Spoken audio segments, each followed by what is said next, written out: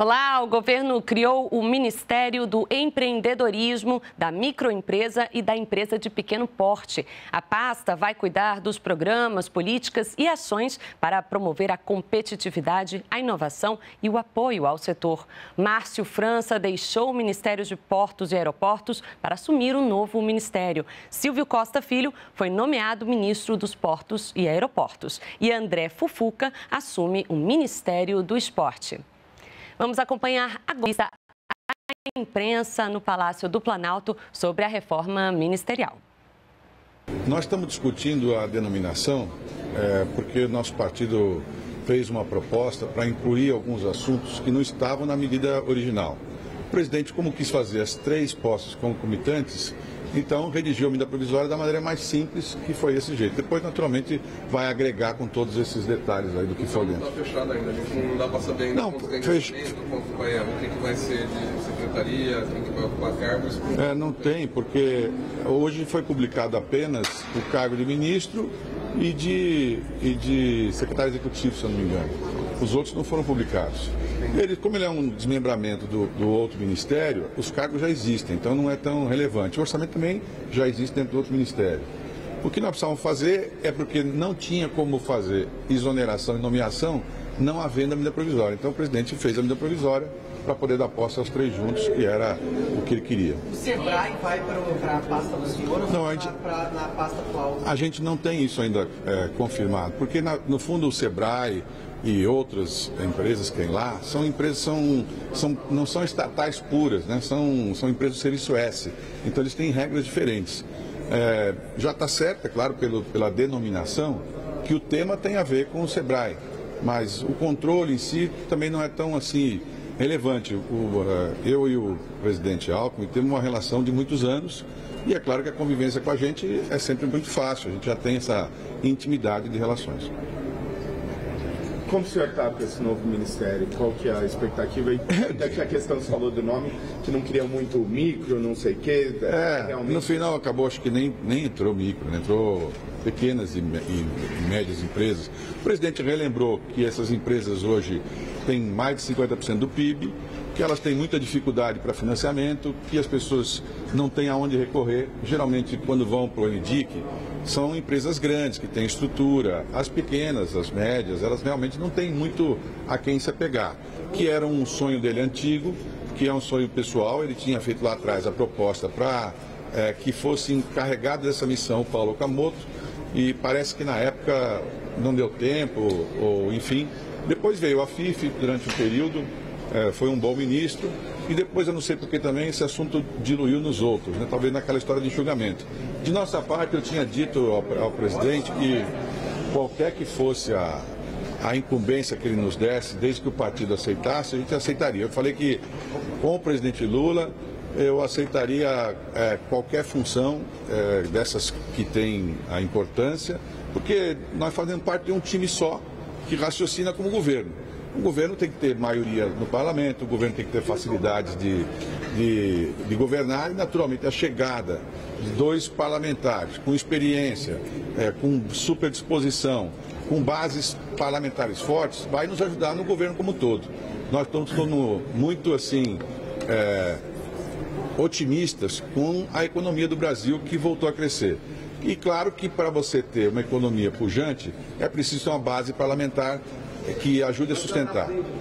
E eu tenho certeza que isso daqui para frente vai facilitar bastante, porque os dois parlamentares representam suas bancadas, são representantes da bancada.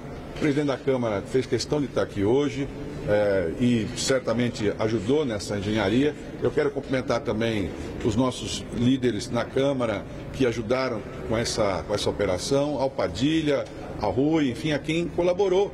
Porque, como a gente disse, a posição que cada um joga não tem muita relevância se você tiver um time que seja unido. Né? O Brasil ontem, o presidente comentou isso, fez o gol aos 40 e tantos minutos e foi vitorioso. É, Para quem está acostumado com a vida pública, sabe que os cargos que a gente exerce, eles é, todos são importantes, mas você está vinculado a um governo que dá certo é muito mais importante. É isso aí. sobre a questão do, da privatização do Porto de Santos, você é contra, ele vai assumir agora o ministério, tem uma posição unificada de não levar essa proposta à frente? Veja, o, o, os portos no Brasil, eles são seis ou sete portos, são públicos concessionados. Não tem, não tem administração de terminal público. Eles já são concessionados. Né? Agora, nós temos 250 portos privados que concorrem com os públicos.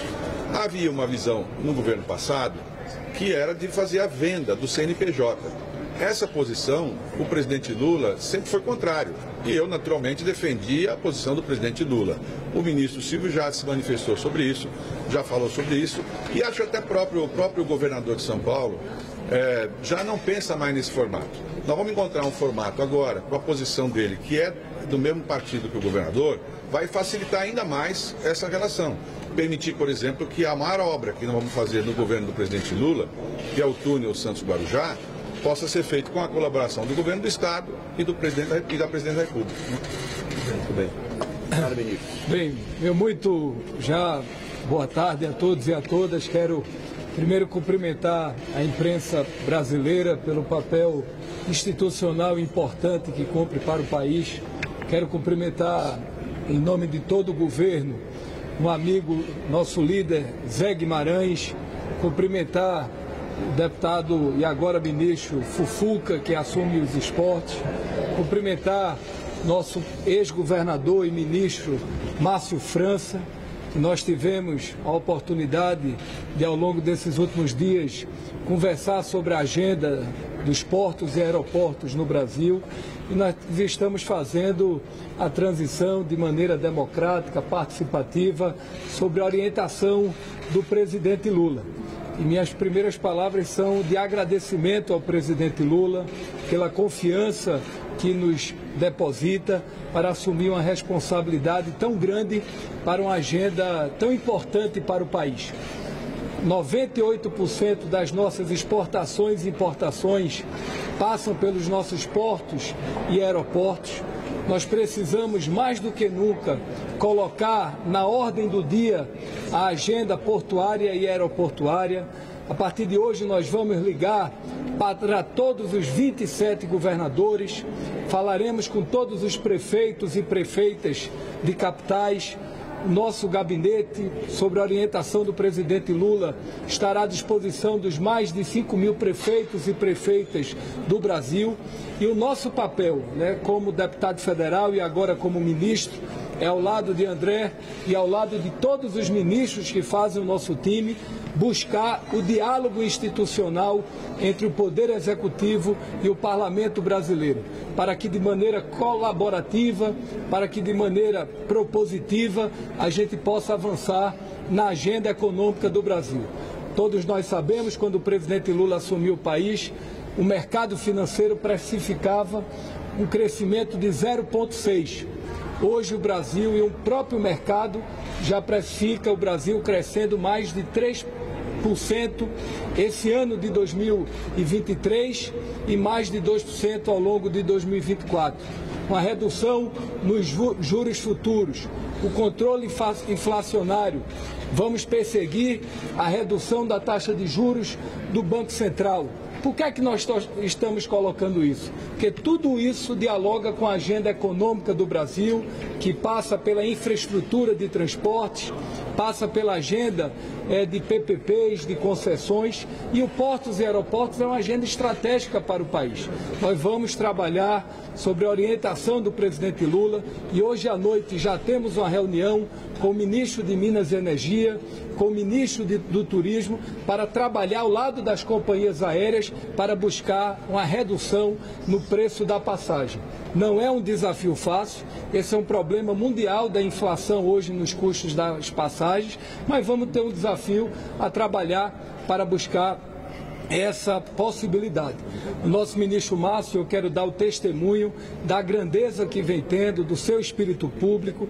A gente tem desenhado sobre a orientação dele e vamos também perseguir essa agenda, o Voe Brasil, o Voa Brasil, que é um projeto importante para os nossos aposentados e pensionistas, que em breve nós queremos apresentar sobre a orientação do presidente Lula e a partir daí dialogar com a Infraero, com a ANAC, com a ANTAC, com com o presidente da Câmara, com o presidente do Senado. Vamos dialogar com os mais de 500 aeroportos e aeródromos do Brasil. Vamos dialogar com os mais de 250 portos privados e os nossos seis é, portos públicos, como o Porto de Santos, que representa 30% da das exportações e importações do Brasil. Então, eu quero agradecer a confiança. Sabemos do papel estratégico dessa agenda portuária e aeroportuária e vamos buscar não só isso, mas também fortalecer as nossas hidrovias. O Brasil tem uma dívida histórica com as hidrovias do Brasil.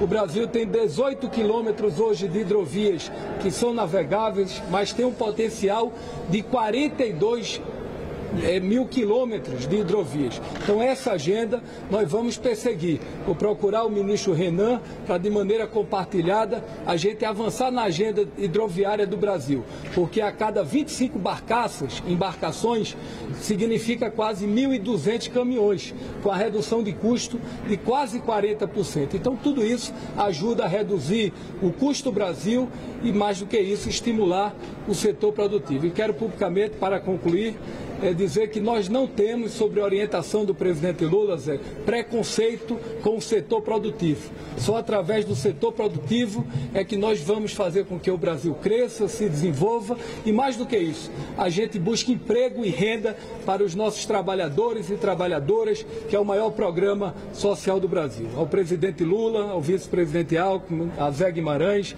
ao ministro-chefe da Casa Civil, Rui Costa, muito obrigado pela confiança que nós estamos recebendo recebendo a partir de, do dia de hoje e vamos juntos trabalhar pelo Brasil. E parabéns à imprensa e desde já me coloco à disposição de todos. Você é urgente. Decisão portuária de privatização é uma decisão de governo. Vou ligar para o presidente Pomini para já a partir de amanhã ou sexta-feira fazermos uma reunião sobre o Porto de Santos. É um porto rentável, com quase 3 bilhões em caixa e que vai liderar a maior obra do PAC do Brasil, que é o túnel Santos-Guarujá, na ordem de 5 bilhões e meio. Então vamos dialogar com os trabalhadores e com todos que fazem o Porto de Santos. Obrigado, obrigado. Só uma coisa, o presidente está chamando. O presidente está chamando. Fica nós aqui. Vamos lá, foi chamado com urgência. Não, está aqui ele. Não, claro, claro. Claro. Não, ele já saiu. Ele vai falar? Não, não. Não, você está falando comigo? Ah, sim. Tá. Vai falar. É, primeiramente, boa tarde a todos. assessoria aqui. Obrigado, obrigado. Nós dois aqui, ó. Só um minutinho. Silêncio aí, gente. Primeiramente, boa tarde a todos. No dia em que fazemos um, um aviso à nação na missão que iremos desempenhar à frente de várias pastas, não poderia Guimarães deixar primeiramente de agradecer a Deus por esse momento, por essa oportunidade. Agradecer a você que teve e eu tive a grandeza e a alegria de poder compartilhar a divisão de lideranças. Você à frente da liderança do governo, eu à frente da liderança do PP, partido que por dois anos fui líder por quatro anos ocupei a mesa diretora da Câmara e também ocupei a presidência nacional do mesmo. Dizer que é uma satisfação imensa estar ao lado de um dos grandes políticos do estado de São Paulo, um personagem vivo do que diz respeito à questão administrativa, à questão de crescimento e, acima de tudo, de planejamento da nação brasileira, que é você, nosso querido ministro Márcio França. Não tem a mínima sombra de dúvidas que, da mesma forma que fez e avançou por onde passou, não será diferente também à frente do Ministério do Empreendedorismo, que agora assume com altivez e com muita força. E dizer a vocês que assumo um desafio duplo. O primeiro desafio que tenho é de, ser, é de assumir o Ministério do Esporte à frente da ministra Ana Moza, uma pessoa que dispensa apresentações, um personagem histórico do esporte nacional e que eu tenho certeza que terei que me desdobrar muito para poder fazer com que os seus sonhos, seu trabalho e suas realizações se perpetuem no que diz respeito ao tempo que ficarei à frente do Ministério do Esporte. E o segundo e principal objetivo e missão dada pelo presidente Lula é poder ter uma revolução no esporte nacional. E quando eu falo revolução, eu falo no começo, que é a democratização do esporte. Não podemos falar numa revolução esportiva a partir do momento que temos a disparidade entre o tratamento do, esportista masculino e da esportista feminina.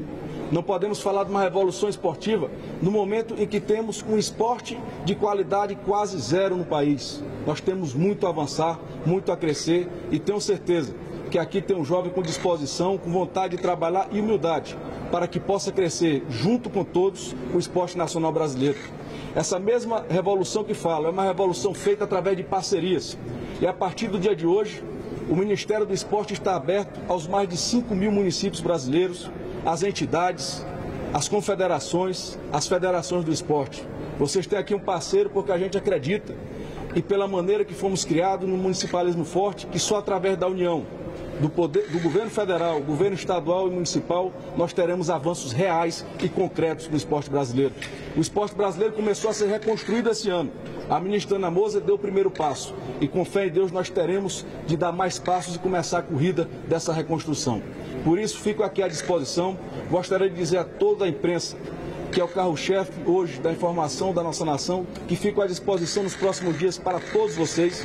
Estarei à disposição a partir do dia de amanhã para todos aqueles que tenham interesse em fazer entrevista, perguntas ou qualquer tipo de questionamento e dizer Márcio, dizer Guimarães, dizer ao nosso ministro Rui Costa, ao nosso ministro Padilha, que são os paraníferos dessa aliança que fazemos aqui hoje, que o ministro Lula dê um pouco do seu conhecimento ao nosso querido ministro Haddad, um pouco da sua sabedoria ao nosso querido ministro Rui Costa e deixe um pouco do seu coração para o deputado e agora ministro do Esporte André Fufuca, que faremos sim o que ele pediu, que é o esporte de qualidade e, acima de tudo, uma revolução no esporte nacional brasileiro. Muito obrigado, que Deus abençoe a todos nós. Já uma perspectiva de que a, a, o, o, projeto das, das tenha realmente uma parte dos recursos para o esporte? É, né? Na verdade, é, quando você fala, você fala da Secretaria do, das apostas. Há uma determinada distribuição que será feita não apenas com, a, com o esporte, mas com outras áreas vitais, como turismo, como seguridade social, educação. Isso é um consenso que há entre as lideranças da Casa, as lideranças da Câmara e do Senado, que são as mesmas que estão agora, nesse momento, fazendo o exercício da construção da MP e há também o esporte será beneficiado. Acredito que no momento que estamos falando de apostas esportivas, o Ministério do Esporte deve ser beneficiado, até porque haverá de ter na, a ingerência na veia do esporte em mais de 5 mil municípios do nosso país, além dos 27 estados. Até porque nós ampliamos o escopo, né? Sim, sim, sim. Entraram sim. outros. Desculpa. O que esperar agora da oposição do partido, não só da oposição, principalmente do PP, lá na questão de governabilidade que o governo Lula está esperando, na votação dos projetos importantes? Vocês vão estar votando com mais presença uma votação mais expressiva em relação a esses projetos depois dessas... É bom que diga de passagem que o Progressistas, desde outubro do ano passado, de novembro do ano passado, vem dando, vem dando demonstrações vivas que ajudem todos os projetos que estão à frente da nação brasileira, projetos que estão à frente o, o melhorar de vida e da qualidade de vida de todos. Ajudamos na PEC da transição, ajudamos em matérias importantes como arcabouço fiscal e CAF, e eu acredito que não será diferente a partir do dia de agora. O Progressistas haverá de acompanhar as grandes decisões nacionais e principalmente aquelas que melhoram a qualidade de vida de cada brasileiro e cada brasileiro. Mas os 49 deputados do PT, quantos são base do governo? Hã? Os 49 deputados do PP, quantos são base do governo? Dos 49 deputados do PP, nós, ah, o que eu vou falar aqui não é uma projeção futura, é uma projeção de passado e presente, até porque isso todos são testemunhos. O PP sempre esteve à frente das votações com quantidades e perspectivas reais de votação e nós acreditamos que iremos manter da mesma forma que fizemos no passado, com as votações importantes, haveremos de manter também agora nas votações futuras. Então, em relação a números, a proporções, isso é público e notório e todo o Brasil é testemunho do que o progressista já vem fazendo em relação ao desenvolvimento do Brasil. E o painel fala, né? E eu gostaria só de encerrar a minha fala, como falei, estou à disposição de todos a partir do dia de amanhã, dizer da minha eterna gratidão ao presidente Lula pela essa atenção, pelo esse gesto que está tendo hoje com o ministro André Fufuca e pode ter certeza, com a bênção de Deus, faremos um grande trabalho à frente do esporte e vocês terão orgulho do que será exercido. Muito obrigado e um grande abraço a todos. Nós acompanhamos a entrevista à imprensa no Palácio do Planalto sobre a reforma ministerial do presidente Lula, que deu posse a três novos ministros. Márcio França deixa o Ministério de Portos e Aeroportos para assumir o recém-criado Ministério do Empreendedorismo, da Microempresa e da Empresa de Pequeno Porte. O novo ministério vai cuidar dos programas programas, políticas e ações para promover a competitividade, a inovação e o apoio ao setor. Silvio Costa Filho foi nomeado ministro dos Portos e Aeroportos e André Fufuca vai comandar o Ministério do Esporte. Outras informações você acompanha ao longo da nossa programação e também nas redes sociais. Até a próxima.